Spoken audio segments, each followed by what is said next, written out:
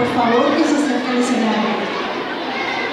Del Colegio de Los Alpes, Alexandra